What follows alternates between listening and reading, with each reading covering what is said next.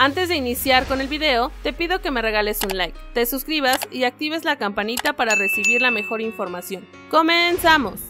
San Luis versus Santos, horario, alineaciones probables y donde ver el partido, partido de la jornada 8. El Atlético de San Luis recibe la visita de los guerreros del Santos Laguna de Torreón este sábado 18 de febrero en el Estadio Alfonso Lastras, donde se disputará el partido correspondiente a la jornada 8 del clausura 2023 de la Liga MX. La transmisión del cotejo arrancará a las 5 horas y estará a cargo de SPN. El San Luis quiere romper una seguidilla de dos derrotas en sus últimos partidos y mantenerse en zona de repechaje, donde actualmente se ubica en la décima posición con 8 puntos, igualado con Santos y Pumas de la UNAM. Por su parte, los guerreros acumulan 3 partidos sin victoria en sus últimos cotejos en este clausura 2020, empatando 2 y perdiendo uno de ellos. Los guerreros tienen un partido pendiente de la jornada 7, por lo que es de vital importancia sumar de a 3 puntos este sábado y después aspirar a meterse a zona de clasificación directa. Alineaciones probables del San Luis versus Santos. Atlético San Luis, Barovero, Castro, Piñuelas, Bilbao, García, Sanabria.